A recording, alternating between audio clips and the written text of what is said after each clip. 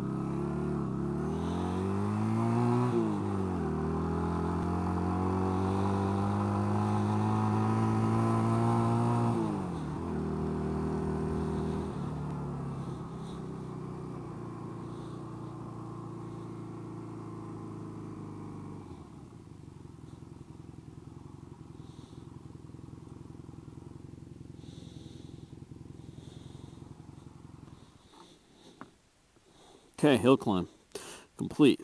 Uh, we were looking at a little bit of a gas leak possibly coming out of the carb. The whole carb seems to be a little damp right now. wonder if that's condensation or... Yeah, it feels cold and wet. Might just be some condensation built up. But we're looking at this tube and it looks pretty damp around the end, so we're thinking maybe there might be a little bit of a gas leak there. Then I thought if I got it out running a bit, it might might show itself. But I'm not seeing any drips yet. Hmm. We'll have to keep playing with it. But anyways, I don't know how much of the camera can pick this up, but I'm out on a kind of scenic overlook right now.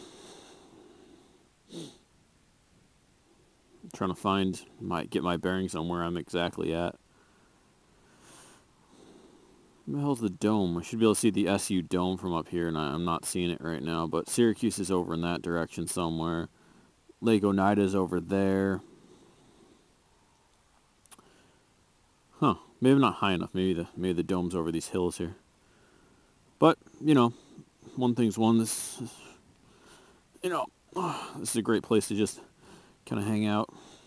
I should have brought my camera taking this picture of the bike, but Oh, that's loose too. I'm gonna tighten that. Tighten that up too. It's a little wiggly. Hmm. Oh, well, play with it. Okay, back down the hill.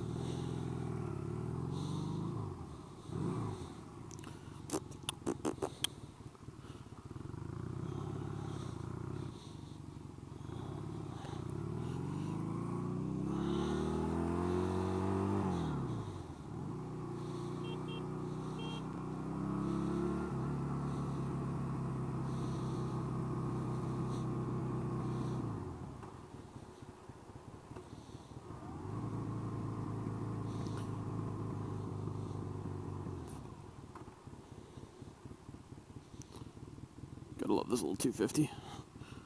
Problem is with this turn is I can't see around it.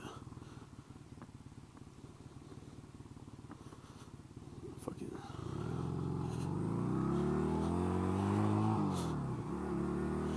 Kinda just gotta go sometimes.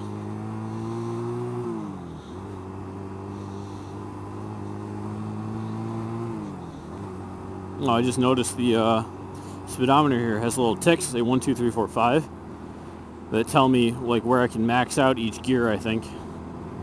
That's pretty nice, because there's no tachometer on here to tell me what my RPMs are, right? And so it's built into the speedometer where it's got a, uh, how's it going, dude? Nice dog. Where it's got a um, little marks, one, two, three, four, and five here. I think that's where each gear will max itself out. So, a lot of active people up here today. So that's pretty neat to see.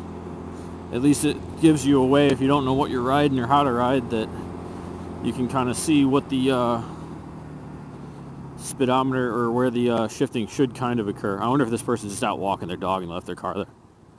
That could be it. That could be that lady there with her dog. It says mom on it.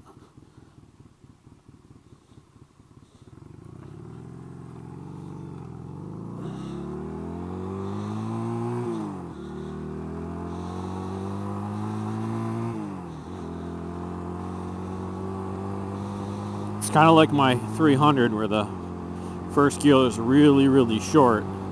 But I mean, it's a 250. What do you want? You need the torque in the front end. And the shifter, I mean, I really got to lift up on it. I'm basically lifting my foot up. I can't really feel it click. What's up, bros? Yeah, friends. Making friends out here. Madison County. Town of Sullivan funny story about um, town of Sullivan is went through a sobriety checkpoint the other day. It's on the back road somewhere coming back to Syracuse area and uh, found a sobriety checkpoint. Something the state troopers made up because uh, it was Friday night of Labor Day, so you know, people thinking three-day weekend maybe we're gonna party their ass off. This looks wet. I'm gonna slow it down. And the guy's like, "Oh, where are you going? Where are you headed?" I'm like, "Oh, back to Chittenango, you know, Syracuse area." He goes, "Oh, I used to be stationed in the town of Sullivan. I know where you're going.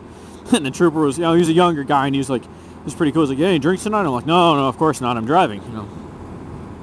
And I was waiting for him because my registration was expired on my car, and I had the temporary one in the side seat. I was waiting for him to uh, to be like, um, you know, your registration's up, and I'd be like, oh, fuck, like, no, I have it right here. Don't ticket me. Don't pull me over. Don't delay me at all. so it's just neat to know somebody else who actually knew where I was. And this thing, this thing will pull 55. I think I'm in fifth gear. I can't really be sure with this one because the clicking of the uh, shift clicking really doesn't do much. It's kind of odd. Like I can't tell what gear I'm in because of that because it doesn't really click when I shift and I think that's due to the uh, one of the brackets down there is a little worn it so it wiggles and I wonder if I can tighten it no it's, uh, it's it looked like it was welded on there so it looks like it's got to be re-welded or something else. Other than that, it's a solid bike. 1985. Had a, needed a few parts, got them. It's good to go.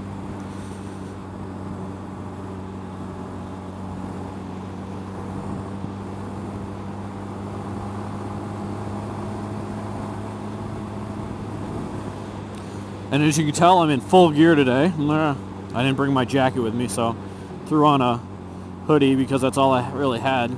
I mean, I guess I could have thrown on a winter jacket, but it's it's going to be 80 today, and I really wasn't looking forward to getting that geared up, especially a jacket without any padding or vents.